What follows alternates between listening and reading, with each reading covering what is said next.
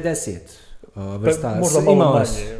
Koliko od njih je ovako u samom Jadranu? A Jadransko more prema našim zadnjim ova, izvještajima gdje do- od zadnjih 200 godina je Jadranu primjećeno 60 vrsta, Dobro. od čega 33 vrste ovaj morskih pasa.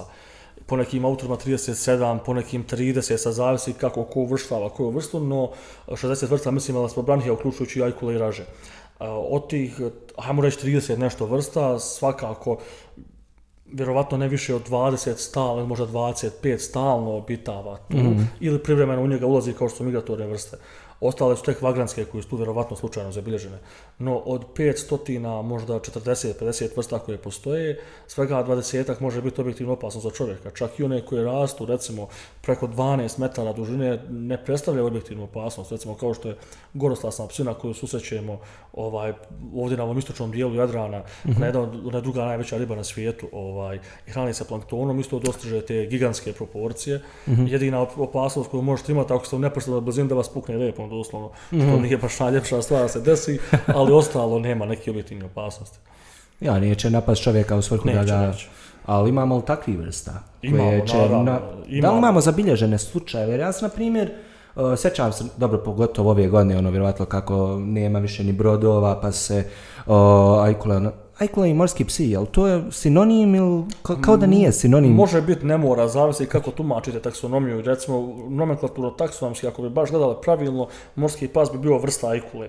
Dobro. Samo to je jako teško. Recimo ja kad dajem, na primjer, intervju, obično sinonimi- sinonimiziram zato što je lakše nekom shvatiti nego... Dobro. Kao što recimo nećete reći da se većina morskih pasa se u biti koti, dosta njih rađa žive mlade. Sada mi svi kažemo nestalište da nekom lakše shvatite. Iako to za većinu vrsta ne bi bio u biti pravilan Ja, termin. pravilan izraz. Da, da, da. Mm, S da tako mi često u kolokvijalnom govoru koristimo neke termine koji nekada nisu ok, pa Dobro. nas neko zna i prozvatno, nama je bitnija stvar da ljudi shvate o čemu mi pričamo, nego sad da ispadnem pametan pred nekom publikom. Mm, mm. Ali dobro, od svih tih, eto, nazvat ćemo ih u ovom slučaju morskih pasa, ovaj, uh, viđaju se sve češće, u stvari, koliko sam uspio primijeniti posljednje vrijeme, ali nisam, nisam nikad pročitao, to ne znači da nije bilo, tebe to da pitam, da nije bilo uh, napada na Ja čovjeka. sam u ovoj svojoj novoj knjizi baš sumirao sve napade koji su poznati ovaj kod nas. Tu je nekih 20 napada za koji je u većini ovaj bila velika bijela veća od 5-6 metara dužine što je poprilično veliko, a, koje su bile puno češće recimo do neke druge polovice prošlog stoljeća,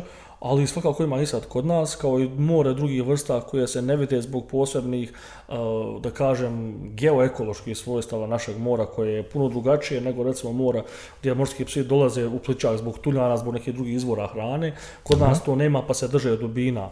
Ali su medijski izvještaji poprilično interesantne zato što neke vrste koje mediji onako poprilično, da kažem, bombastično predstave se svakodnevno viđaju. To nije ništa spektakularno. To je, sad, to je dom životinje kao što recimo ima lisica ovdje oko Sarajeva. Na taj Ma, pa se spuste po vremenom. ne mora se ni spustiti, to da je došlo mu kažete, "Ej, već vidio sam listu, ono, Ja. o, okej. Tako samo, samo što je ovaj pop kultura kod nas poprilično onaj prestravljena tim životinjama zbog ovih, hajmo reći, nekih blockbustera koji su snimani i onda je nekako on uvijek mediji nekako posebno pripaze kad se nešto vidi i pojavi, mm. iako je to objektivno ovaj često neopravdano, nezasnovano, s tim da treba po meni osoba imati dozu nekog, da kažem, prvenstveno poštovanja, pa onda straha kad ulazi u strani teritorij, Dobro. jer vi ne znate u trenutku ulaska u vodu šta se tu, tu dešava, mm -hmm. jel se neka životinja mrijesti, hrani, razmnožava, a, tako da poremetite neki njen koncept što može izazvati recimo i provocira, ne provocira napad bilo kojeg organizma kao što recimo sa psom na ulici ne znate nekad kako ćete reagovati ali neki razlog za opštu paniku svakako nije nikad kod nas postojao. Mhm. I neće na kraju krajeva sama, aj koji morski psi, ovaj, dolaziti u pličake bez razloga. Pa znate, to je komplikovano odgovoriti. Ovaj. Prvo, zavisi kako definišemo pličak. Mhm. I zavisi koju vrstu gledamo. Recimo, vrsta koja pređe jako puno kroz svoj migratorni put, možda je milion puta prošla kroz neke pliče slojeve, samo je niko nije zabilježio. Mhm.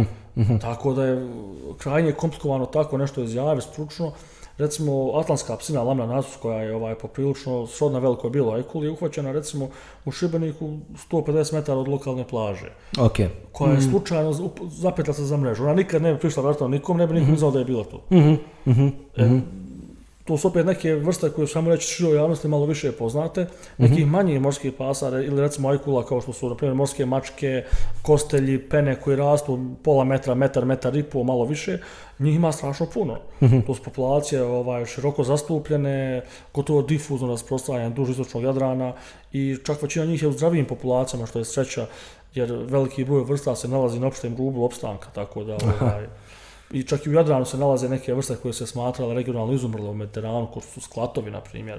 Dobro. Neke vrste koje smo mi svojim nemarom, neselektivnim metodama ribolova, sve većom polucijom, antropogenizacijom, doslovno istrijebili iz tih, ovaj, mm -hmm. da kažem, ekoloških integracija.